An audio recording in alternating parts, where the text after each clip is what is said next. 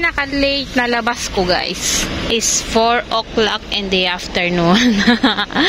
Grabe. May gusto kasi akong i-video. Kahapon may pinuntahan kami na market. And nagandahan ako doon sa mga design nila. Meron kasi ditong holiday this September 30. Yung mid-autumn. Parang one week siyang sineselebrate. Mid-autumn, ano bang tawag doon? Mid-autumn festival dito sa Hong Kong. So, ang ganda ng mga design niya doon. So, papakita ko sa inyo kasi grabe. Super ganda and matibay siya talaga. Mamaya makikita nyo kung uh, pa, uh, ang tawag ito, yung mga design and yung mga color niya. Sobra colorful talaga. So, puntahan natin. Kahit tamad na tamad ako.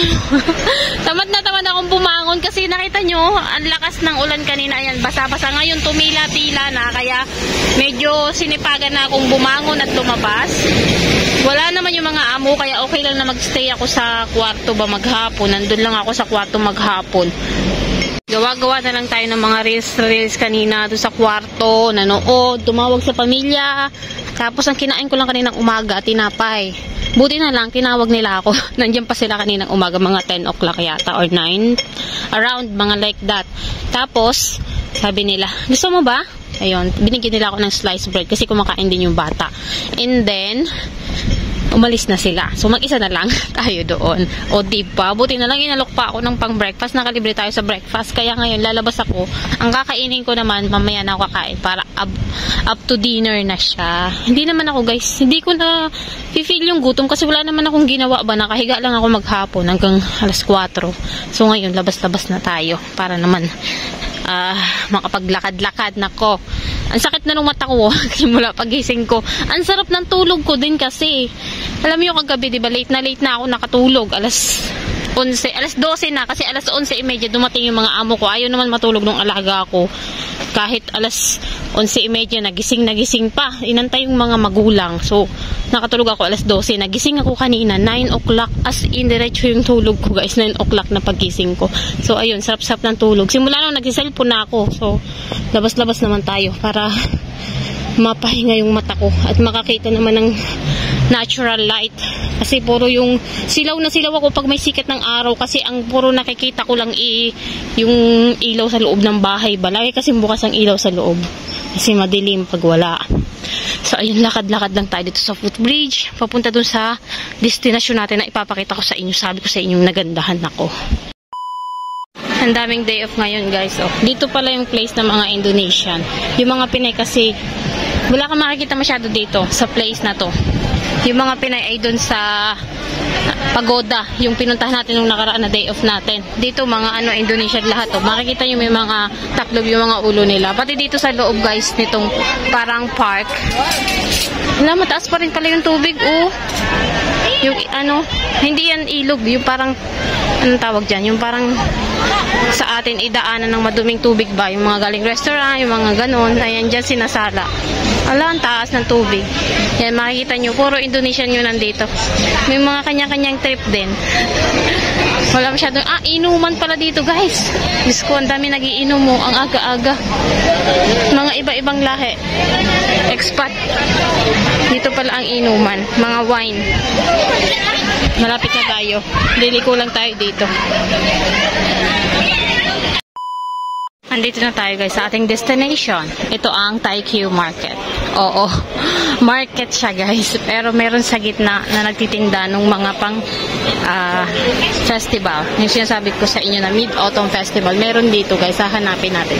Ayun, nakita ko na. Dito. Sobrang ganda as in maamis kayo. Ayan, ang entrance. Tapos, ayun sa dulo, makikita nyo. Sobrang dami talagang tao na pumupunta dito. Ay, kakaunti na nga. Kahapon, sobrang dami nito, guys. Pag pumasok ka sa loob, kitang-kita mo. Ang ganda. Ayun, o. Oh, di ba? Uh, Mid-Autumn Festival. Ang tibay nito, guys. Handmade siya, ha. Ayan, punta tayo sa loob. Sobrang dami kasing tao. Magbi-video lang ako. Pwede naman. Ayun, oh. Example natin to. Ayan. Ang ganda, guys. Oh, Iba-ibang shape. Ano kasi to, yung parang, uh, tawag dito yung Mid-Autumn Festival is yung parang pagpapasalamat nila.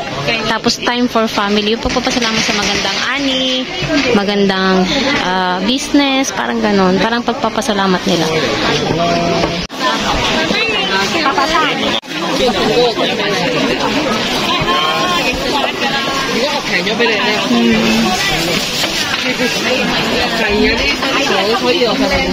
Grabe, ang tao. 几好味，得唔得？唔紧要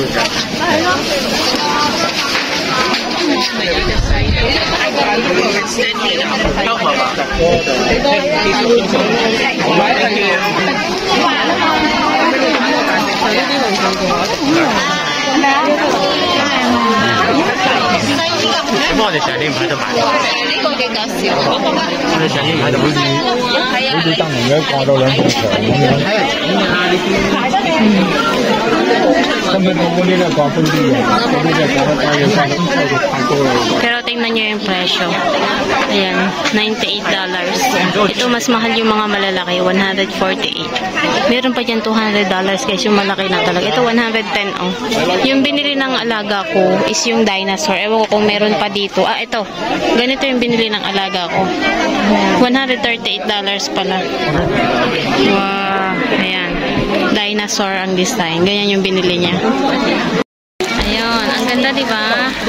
6K ka ng daming tao, guys. Hindi makapasok doon. Dito lang tayo sa entrance. 喺我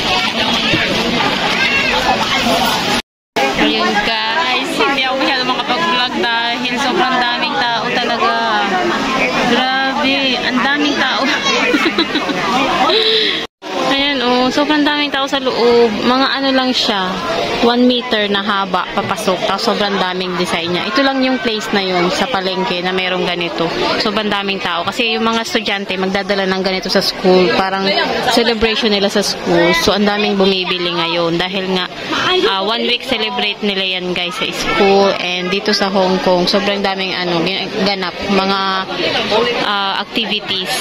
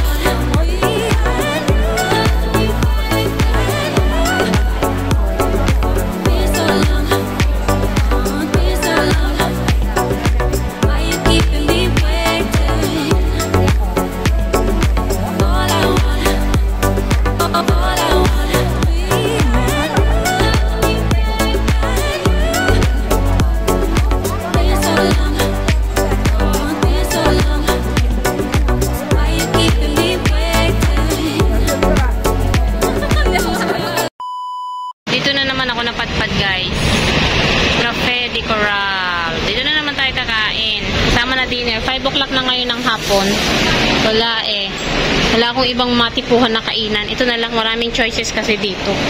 Mabuti na lang guys. Nakita nyo nakapag-video na solo ako na may nagbibideo sa akin. May isang Pinay din doon na dinayo niya pa daw talaga yung place na to para makapag-vlog or makapag-photoshoot doon. Sobrang galing. Kaya ayun, may pareho kami nag-picture-picture kami sa bawat isa.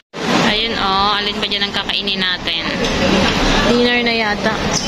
Hindi ko alam kung anong oras magdi-dinner na. Pero pwede na yata itong orderin. Iba-iba kasi dito guys, pag umaga, tanghali, at saka gabi, iba-iba din yung sineserve nila. Hindi mo na pwedeng orderin yung mga pang morning, ganun.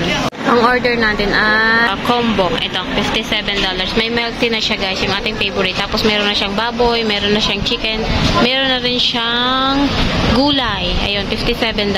Ayun na lang. Charan! It's, magkano nga ba? Nakita nyo na kanina, no? $57 yan, guys. Oh. Diba? Ang mahal-mahal. Pero may kompleto na kasi yan. At saka isang kainan lang naman ako, kaya okay lang yan. Ayan, meron siyang red egg. And meron siyang pork belly. Tapos meron na rin siyang sausage and dalawang pieces chicken wing. Tapos may gulay na siya. Tapos meron pa akong milk tea, my favorite. Hindi na tayo magkakape. Alam nyo nung nakaraan, nagkape ako. Diyos ko po! Ah, nagpunta kami ng coffee shop guys. Kasama yung mga amo ko. Tapos, ang nangyari, saglit lang kasi ang sarap-sarap talaga ng milk tea.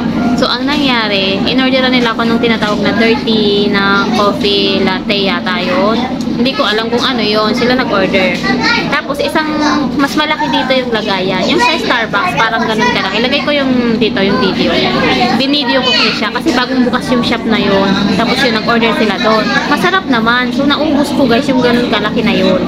Ang epekto sa akin nung gabi, as in, wala akong tulog. Alas 4 na na umaga, gising na gising ako, para ako nakadroga. Ganun pala yung feeling. Na-experience ko na yung parang nakadroga ako. Wala talagang tulog guys, as in. Dumating na yung amo ko pang gabi kasi yun. Ang dating niya, 2 a.m. or 3 a.m. Dumating na. Gising na gising pa rin ako. Hindi ako nagsiselfone kasi nga, pinatugtog ko tong cellphone ko ng music na pampatulog para nga lang makatulog ako. Wala talaga siyang epekto. So, ayun. Gising na gising ako. Buong magdamag. Na, inis na inis na ako. Hindi ko kung anong gagawin ko. Paikot-ikot na ako sa higaan. Hindi ako nakatulog. Yung pala, kape. Yung kape, yun na yun. So, ayun. Hindi na ako masyado nagiinom ng kape. Pag umaga dapat. Yung kasi yung time na yun na nag-inom kami ng kape. Alam niyo kung anong oras? 3 p.m. guys. Ay, naku, ang hirap.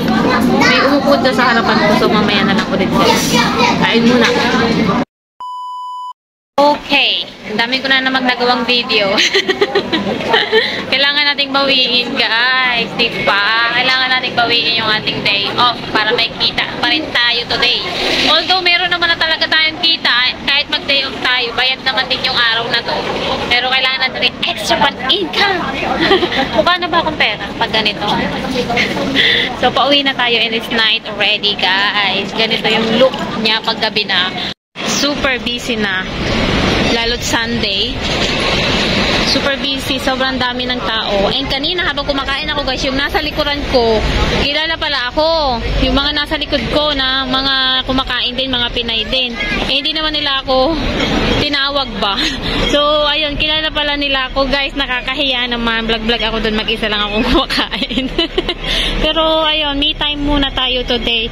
Meron ngang, ano, meet up yung aking pinsan, sila, yung mga taga Bicol ulit. Hindi na lang ako sumama kasi magkano yung pamasahe papunta dun sa Central ulit. Ang layo, di ba? At saka nakakapagod din magbiyahe-biyahe. Kaya ayun, dito na lang din tayo muna makapag-vlog-vlog ng kaunti dito sa lugar na to. So, ayan ang view niya kapag gabi. Di ba? Sobrang busy, sobrang daming tao. Buti tumigil na yung ulan. Hindi katulad ng umaga na nakakatamad talaga maulan. Yan. Ang view niya dito in the night.